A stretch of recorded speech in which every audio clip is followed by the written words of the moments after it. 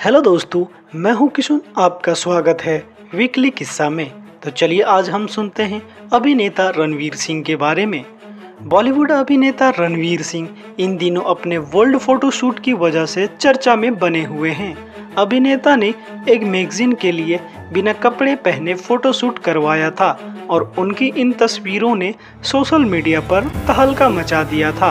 हालाँकि रणवीर को लोगों ने खूब ट्रोल किया वहीं अब रणवीर के बाद हॉलीवुड की बात करूँ तो सुपरस्टार जेनिफर लॉपेज ने बोल्ड फोटोशूट करवाकर तहलका मचा दिया है। अभिनेत्री की तस्वीरें फैंस के बीच तेज़ी से वायरल हो रही हैं। बॉलीवुड एक्टर रणवीर सिंह के न्यूड फोटोशूट का विवाद बढ़ता ही जा रहा है। उन पर महिलाओं की भावनाएँ आहत करने का आरोप लगाया जा रहा है। साथ ही साथ रणवीर के खिलाफ मुंबई के चैम्बूर में एफआईआर दर्ज कर ली गई है। वैसे आप लोगों की जानकारी के लिए मैं बता दूँ कि चैम्बूर पुलिस थाने वाले के अलावा दो और शिकायतकर्ताओं ने शिकायत की है और रणवीर सिंह को कानूनी नोटिस भी भेज दिया गया है।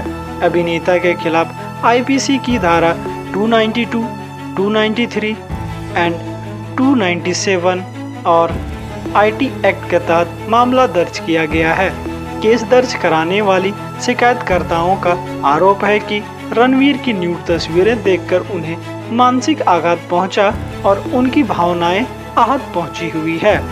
पेपर मैगजीन के लिए रणवीर के फोटोशूट की तस्वीरें 21 जुलाई को ऑनलाइन पोस्ट की गई थी। तस्वीरों में रणवीर बिना कपड़े पहने नज़र आ रहे हैं।